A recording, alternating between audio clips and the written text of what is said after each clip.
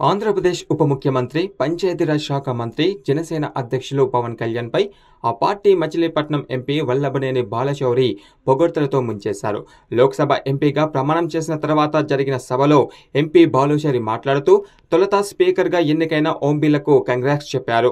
ఈ సందర్భంగా గడిచిన ఎన్నికల్లో జనసేనని పవన్ కళ్యాణ్ చేసిన పోరాటం పోటీ చేసిన ప్రతి స్థానంలో ఏ విధంగా గెలిచారు అన్న అంశాలను ఒక్కొక్కటిగా ఎంపీ పేర్కొన్నారు. ఇక రాష్ట్ర అభివృద్ధి కోసం ప్రజల ఆకాంక్షలు ఆశయాలు నెరవేర్చడానికి ఎన్డీఏ కూటమి ఏర్పాటుకు ఉప ముఖ్యమంత్రి పవన్ కళ్యాణ్ తీసుకున్న నిర్ణయాలు ఆయన చేసిన త్యాగం గురించి సభలో ప్రస్తావించారు. పవన్ కళ్యాణ్ అంటే నిజంగానే తుఫానని ఎందుకంటే దేశంలో ఎన్డీఏ కూటమి గెలుపొందిన తర్వాత తొలిసారి పార్లమెంటు సెంట్రల్ హాల్లో ఏర్పాటు చేసిన సభలో ప్రధాని మోదీ పవన్ను ఆకాశానికి ఎత్తేశారు. పవన్ అంటే కేవలం పవన్ కాదని పవన్ అంటే తుఫాన్ అని ప్రశంసించారు. ఇక ప్రధాని మోదీ మాట్లాడిన వ్యాఖ్యలను ప్రస్తావించిన ఎంపీ బాలశౌరి పవన్ నిజంగానే ఏపీ రాజకీయాల్లో ఒక తుఫాన్ సృష్టించారని ప్రత్యర్థులను మట్టి కనిపించారని ఎంపీ పేర్కొన్నారు. భారతదేశంలో మరే పార్టీ సాధించని ఘన విజయం తన పార్టీ జనసేన సాధించిందని ఎంపీ పేర్కొన్నారు.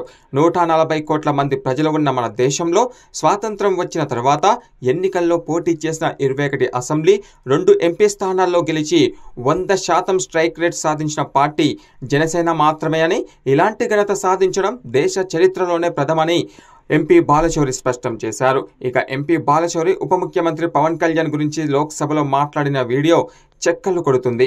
పవన్ అభిమానులు జనసేన నాయకులు కార్యకర్తలు సామాజిక మాధ్యమాలలో ఈ వీడియోను విపరీతంగా వైరల్ చేస్తున్నారు.